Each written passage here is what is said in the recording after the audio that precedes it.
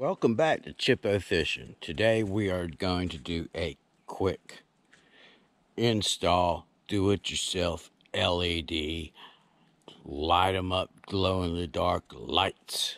So here we go. This, is what you're going to need. First of all, you're going to need some acetone. You're going to need to prep your area really well. Now, acetone will eat paint, so only do the area that you need. Not down in here, not over in here like that. Just take a cloth and go over it several times. That's going to be on the exterior, so you're going to need some 3M auto molding tape, super strength. This is the same width as your LED strips. Now, this stuff sticks. It really sticks. Uh, they use it to put automotive chrome molding on. They use it for uh, LED display lights underneath vehicles. Uh, it's the real deal. So you're going to need that. You're going to need a wire power source, either an inverter. I've got an alligator clip. Goes to my batteries over here, run out here. I'm going to connect these wires to the LED lights, shrink wrap it, and pull the shrink wrap up inside here and out here. So that'll hide that and my light display will start here and run forward. I will put the 3M tape down first.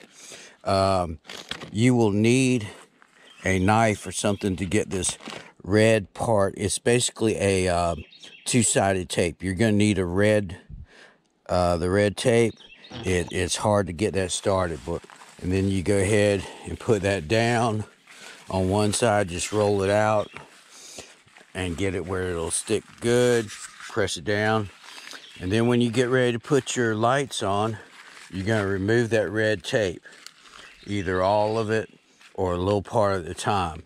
Now the the LED tape, LED lights, actually has a um, a backing on itself. It says 3M, but actually it's just M.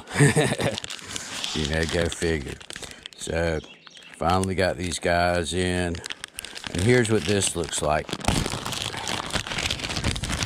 Some of them are a white background. Some of them are the black background. It's real basic. You've got two wires. Now, some of them have plugs and, other ones are multicolored where you can change and control it. We're not doing that. We're using green for a purpose, for uh, fishing tractors and seeing my line at night. So positive, negative, solder them up, shrink wrap them, and then the other end has similar like this. So what I'm going to do is I'm going to cut this off. This is sort of a nice trick here. Um, I'm going to oversize it here. But I'm going to put it over one, over the positive side, over the negative side. Put it over. Um, of course, I'm going to cut the wire, cut this short. I'm going to fold it, put the wire in halfway, fold it over, and and then shrink wrap it, squeeze it and shrink wrap it. Then I'm going to come with a bigger piece and come over a bigger piece of shrink wrap like this far and come over the top of it. And so your shrink wrap with the wire in is bent over doubled, shrink down, and then the shrink wrap over top of that grabs it like a burrito and holds it there. Okay. So that's it in a nutshell. You're also going to need, if you need to strip your wires, this is my wire stripper for the day. On this small, thin stuff, uh, you know, really don't need to uh, to break it. It's in short demand, short strand, so and you're going to need a solder and a solder gun, solder iron, and that's basically it. Now, I was pretty happy with my install fishing last night. Wasn't the best bites, but um, okay, so here you go. I've got the shrink wrap pulled up inside here and it comes out here. Got it tucked in there and runs down to the cable split, goes to the alligator clip. Now then, comes down here all the way up front and it does help with visibility. It comes up to almost the bow. So there you go. All right. And I will probably be putting a little bit of clear glue on the very end just because this is going to be a permanent permanent fix. And that's basically it. I'll uh, chime back in and show you little short little steps. But that's about it. And you can do it yourself. Do you do it yourself, you know? Save yourself money and um, give yourself that extra edge. Okay, I have my tape down that's gone on over a rivet, but that's all right. We'll make do with that. I'm gonna push it down. It's always better to do it at eye level instead of leaning under. That way you're gonna have a better straighter line. So, and then I took my knife and started to peel here and I'll peel off the tape and I'll be able to to use the surface. So the uh, red tape is 3M is sticky and the outside's hard to get off so you're gonna need a knife. Now your roll is five meters, which is 16 foot four inches. Um, uh, that's going to get the majority of my boat. But this roll is 15 foot, so I'm gonna need another another six inches. I mean another another foot, just about. So there we go. Okay, so that's it. Now I'm gonna solder my connections and I'll be back to show you how I apply it. Thank you. Okay, I have soldered and shrink wrapped my connection. I'm gonna be pulling that up underneath this plate here. So it'll be hiding there. Then I'll run my wire down through here and pull around. So yes, yeah, so I'll feed that through.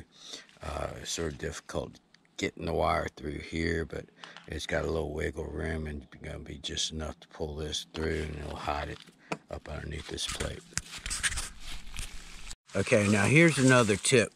When putting this tape down, uh, it just rolls off and sticks there and you're gonna peel the red off. But in putting this down, I like to do uh, like a, a 16, 18 inches at a time and place that, place it exactly where you want it and then peel off 16, 18 inches and then do it again. That way you're pretty much in a straight line. It's not rocket science, it doesn't matter.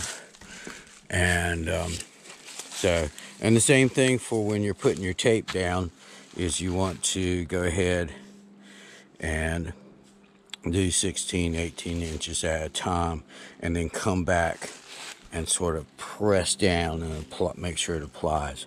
So the red, I'm going to go ahead and take the tape off.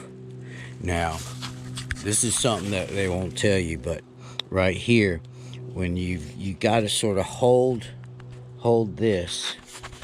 Let me see if I can do it. You got to sort of hold it and peel it off because it's a sticky situation. So you got to sort of hold, push it down. It's not going to come off once this stuff dries and it adheres, which is pretty instant. But um, this outside is is very is dynamite sticky.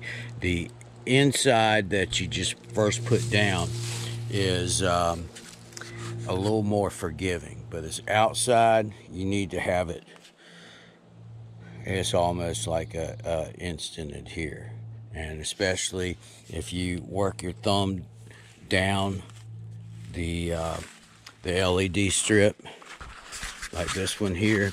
I'm just sort of you know as I go along I do 16 18 inches and then I'll come back and I'll I'll run over my thumb a couple of times. I don't think I'm gonna have any problem. 3M not M 3M Okay, so again, you know, once you get going, but if you see this tape the sticky part start to raise up, that's when you need to stop, go back, and, and press it down again. And again, 16.4 LED strip, uh, tape, supposed to be about 15 foot. So when we get down here to uh, Team when we get down here to to the end and we're going to do the next section I'll uh, show you how we piece that together. All right now we're ready to start on our apply. And myself I was able luckily to tuck this in so I'm going to start here right here at the corner just come down angle down and give it a start on my run. All right back more. And again this is your supposed to be M. It's not even a full M. It's, so you know it's not 3M it's not even a full M. It's just a partial M. If a company makes something they're not going to put part of their name on it. They're going to bother with that they're going to put their name on it. Just a little insight. So when you order off of ebay you got to be realistic you know. It looks good smell good don't taste good but it serves the purpose. These lights you can get anywhere from 8 to $12 a roll free shipping no tax. Um, the more it's actually more expensive getting the 3M tape than the actual LED lights. Okay. Okay I've started now here's what I'm going to do. I'm just going to go ahead for my ease. And since I'm working alone just take the roll and just come on down and empty the roll and put it out in front of my work area. That way it'll be prepped and ready to go.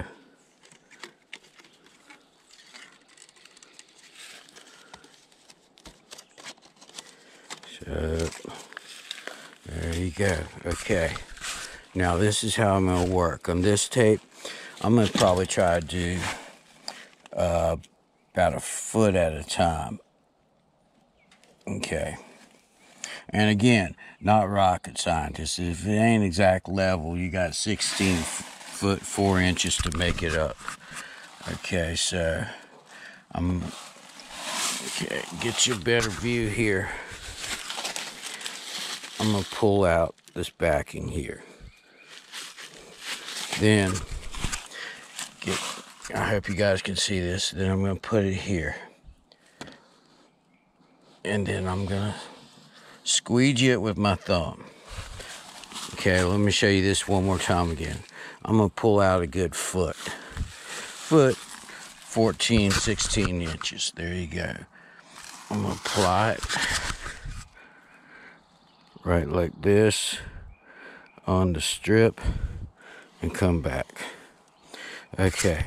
Now, it's not much more, but be sure to get the waterproof LED strips. And the waterproof is basically is just a silicone coating all the way around it. But it's uh, yeah, they use submergible lights. It's pretty much waterproof. It's rated at a 65, I believe, is the rating. And if you ever want to cut it, you cut right where the these uh, copper contact strips are. Cut it in the middle there. But for our purpose, we're running it long. We're running it large. Okay, here's another little tip. I had to cut a piece of the backing, a little smidgen. This gray here is a tape, so I had to cut a little piece here and then peel off. And then I had to peel this way too. So this this backing is, is the real deal. This is good stuff. Okay, so here I am. I've got all the way down to here. But I've run out of tape from here, so I know that I'm going to put maybe another foot up here. So just do a guesstimate. Uh, I'm going to say right about this mark right here. So there you go. Okay, I got my mark. I'll show you what I'm going to do after I put put it there. Yeah, I put a little stick up here just to make a mark, and um, doesn't have to be a special kind of stick. It just be anything. You know, draw draw a line, whatever. But uh, it's better to have a half inch too much than a quarter inch too less.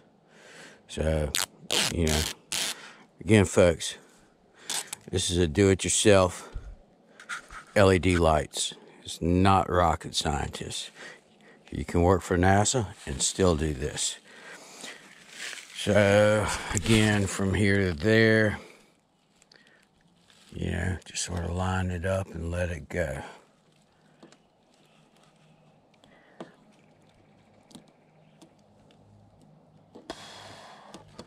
There we go. Shouldn't be a problem there. Now then. Okay. Last little bit.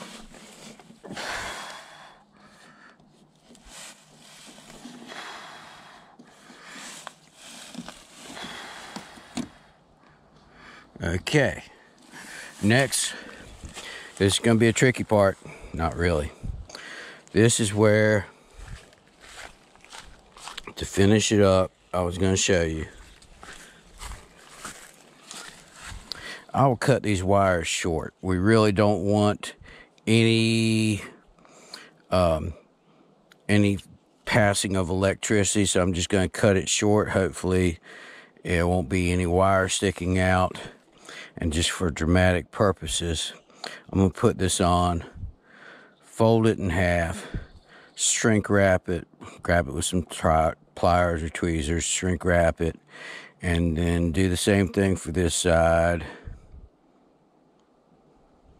Or really, you can do them together, uh, shrink wrap, shrink wrap, or do them apart. However, it doesn't really matter.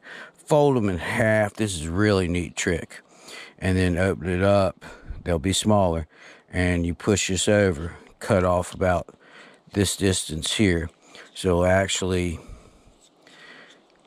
this piece will be over here or right on the edge here. All this will melt together.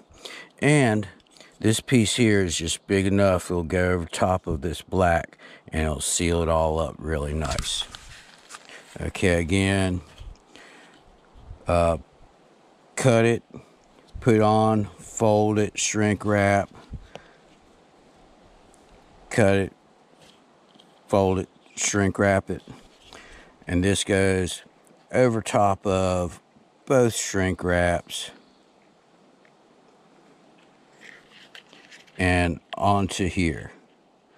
And then shrink wrap it on there and that'll cover and it'll be cut off short so that either these little nubs will just be barely sticking out or be right almost even or just overlaps it but anyway, it's waterproof. Pretty neat idea I saw. All right, thank you.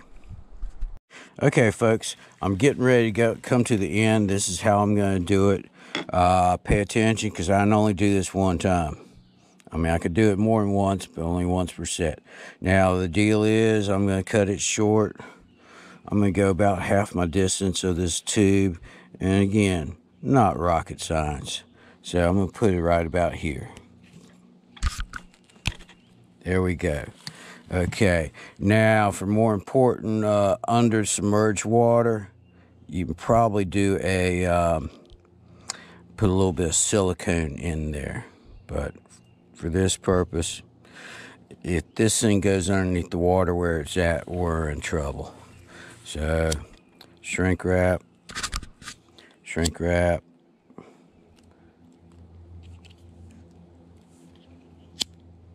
shrink wrap. Hey, whoever invented shrink wrap, thank you. This stuff's awesome.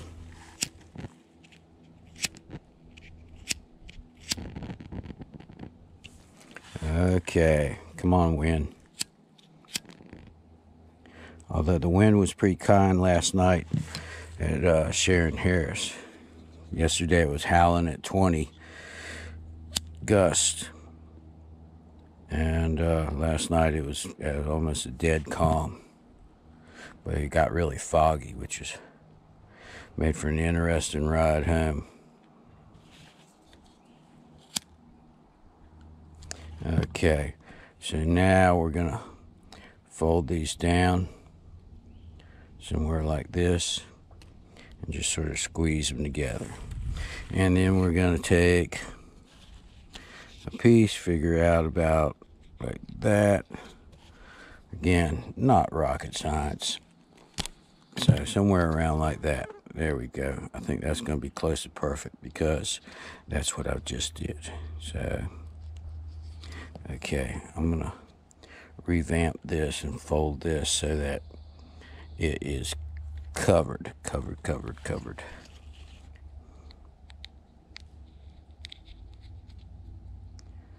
Okay.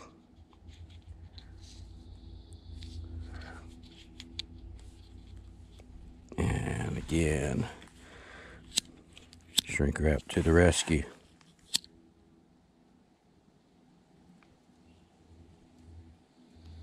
Now, um, two things. This end, you know, try to close it up if you can. Yeah, you won't really be able to seal it, but it's sealed inside, and the shrink wrap over top of that, over top of the shrink wrap. So, yeah, it's close to sealed. Now, this end here, this is silicone, so you know you really don't want to heat up too much. You just get your get in, get your uh, shrink wrap, and get out. Standard operating procedure.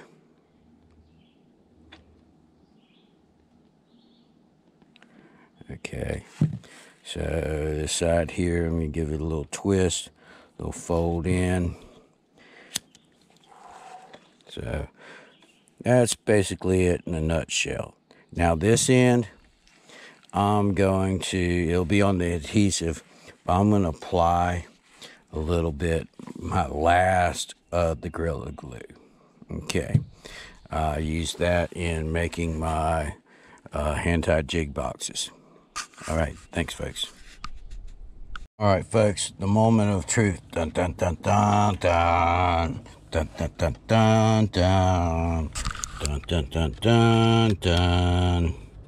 Dun dun dun dun dun.